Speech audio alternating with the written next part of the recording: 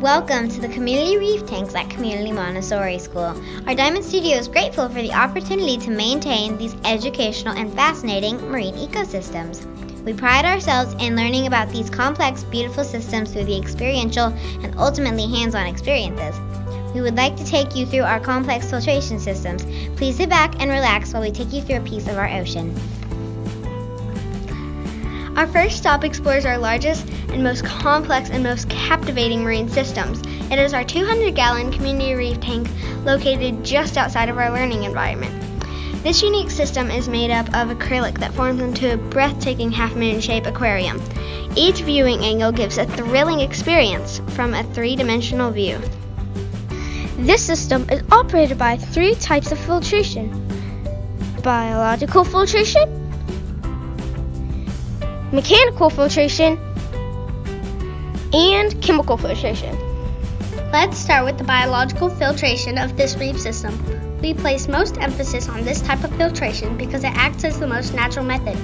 Biological filtration mainly consists of good live beneficial bacteria that is stored on live rock and live sand inside the aquarium.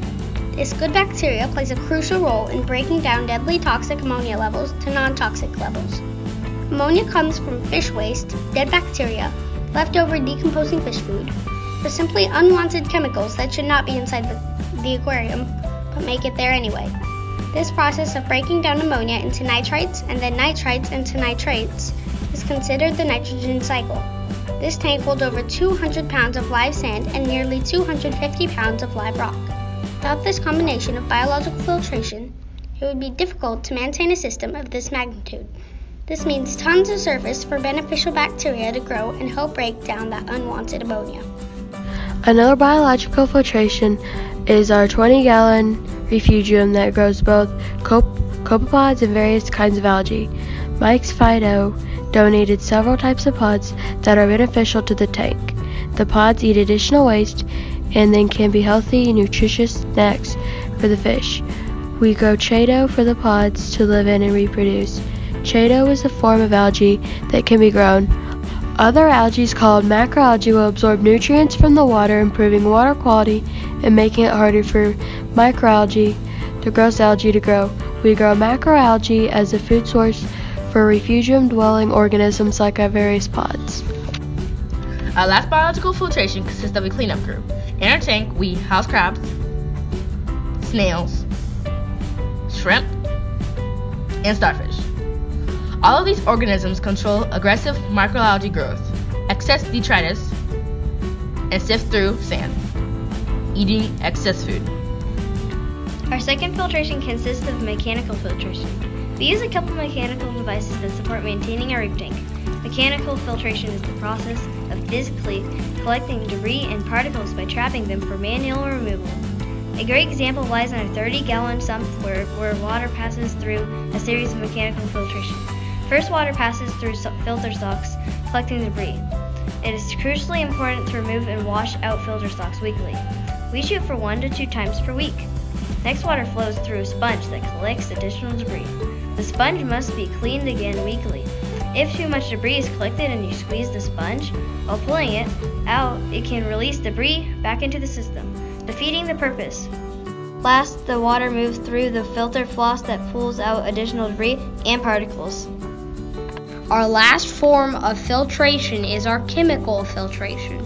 Chemical filtration is the process which dissolved organic compounds or potentially dangerous pollutants are removed from the saltwater system through chemical reactions. In our, in our reef tank, we use several chemical filtrations such as carbon, GFO run through a bioreactor, and a protein skimmer. Activated carbon works to remove pollutants that tend to make water have an odor and also works to keep the water clarity crystal clear. GFO is ran through a bioreactor that removes water toxins. A last and most important form of chemical filtration is our protein skimmer. Protein skimmer re- removes these substances completely from the water by using air bubbles, dissolved organic compounds, and then manually removes them into the collection into a collection cup. It is important to empty and clean out the skimmer cup every few days. If not, the skimmer can overflow, dumping harmful compounds back into the system. As you can see, we use several different methods for our filtration. We believe that using all three types of biological, mechanical, and chemical filtration can result in best practice for a reef tank. We are grateful that we have several methods that we can learn and grow from when establishing the best reef tank in our means. Thank you for taking the time to view this video. We want to give a shout out to Premium Aquatics for some beautiful fish and coral that we added to our tank for this video. Blue Star Aquatics for coming in as a guest speaker to share about different types of filtration and conducting an experiment. Mike Fido for some really cool pods for our refugium. We value all of our sponsors who we are gr- very grateful that they are working hard to support students learning more about keeping this unique and rewarding hobby alive for generations to come.